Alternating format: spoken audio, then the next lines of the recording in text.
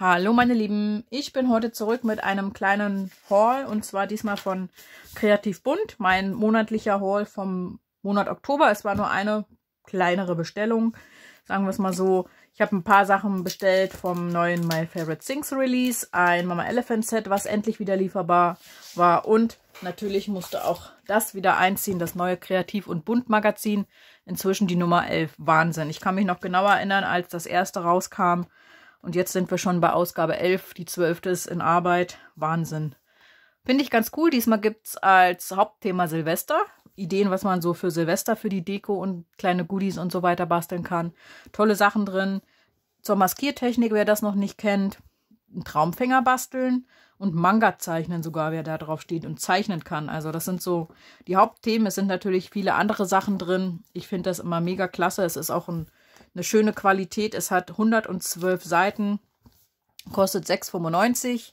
Ja, ich liebe das als Ideensammlung oder Anleitungen nachzubasteln, drin zu stöbern. Ein Interview mit der lieben Vera ist zum Beispiel drin. Also sehr informativ und interessant. Kann ich jedem nur empfehlen, der kreativ unterwegs ist. Dann musste aus dem letzten Release von My Favorite Things von Rachel Ann Miller, deswegen RAM oben das Kürzel Letter to Center mit das Bärchen und das Häschen, die mit dem Igel zusammen und da oben sitzt noch ein Vögelchen, den Brief an den Weihnachtsmann wegschicken. Fand ich irgendwie total putzig, das Motiv. Ein paar Sprüche sind dabei. Ich drehe es einmal so, dass man es lesen kann. Es blendet durch die Folie natürlich. Kann man natürlich auch mit anderen Sprüchen kombinieren. Mir geht es ja da meistens hauptsächlich halt um die Motive. Muss ich gerade mal gucken. Äh, Letter to Center 1395. Ja, ist schon echt eine Hausnummer für so ein Set. Und wenn es dann hauptsächlich ums Motiv geht. MFT ist ja da leider auch teurer geworden. Hier nochmal der Name. Aber ich liebe die Marke einfach. Deswegen kam ich nicht drum rum. Dann ein Set. Dieses hier, ich weiß gar nicht, wer da der Designer ist, kann ich jetzt gar nicht sagen. It's penguining to look a lot like Christmas. Ja, Pinguine. Ich habe zwar schon einige Pinguine, auch von Stacy Yakula und von, von anderen, von CC Design und so weiter. Ja, aber irgendwie kam ich um die Gesellen hier auch nicht drum rum, weil die total putzig sind. Möchte ich gerne noch Weihnachtsprojekte nutzen. Total süß, die vier hier. Sprüche dazu.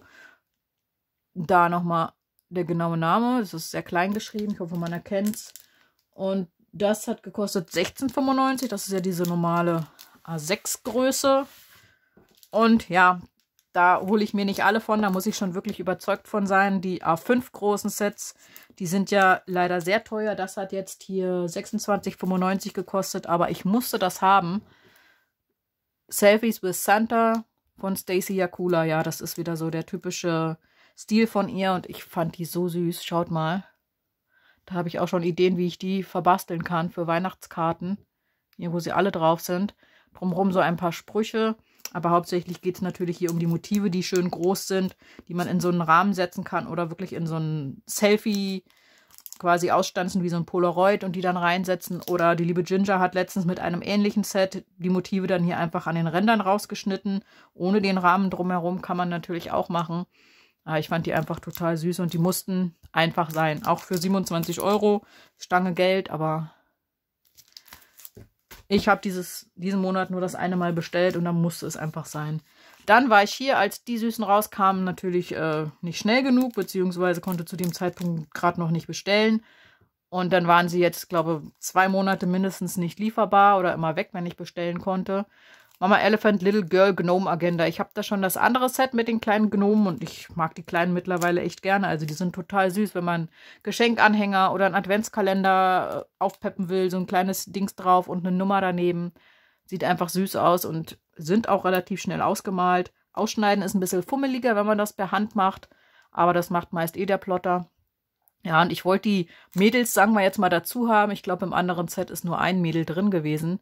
Da habe ich jetzt das passende Gegenstück. Die waren 14,95. Ja, mehr ist es gar nicht geworden und trotzdem waren es fast 18 Euro. 18, 18 ja, schön wäre es. 80 Euro insgesamt. Aber ja, kleine feine Ausbeute. Es muss nicht jeden Monat so viel sein. Dafür ist halt mal was Teureres dabei.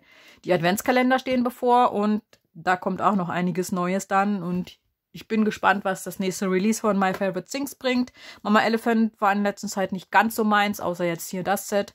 Habe ich da länger nichts geholt. Lawnfawn inzwischen auch nicht mehr. CC Design vereinzelt, aber meistens ist es halt My Favorite Things, wo ich nicht mehr drumrum komme.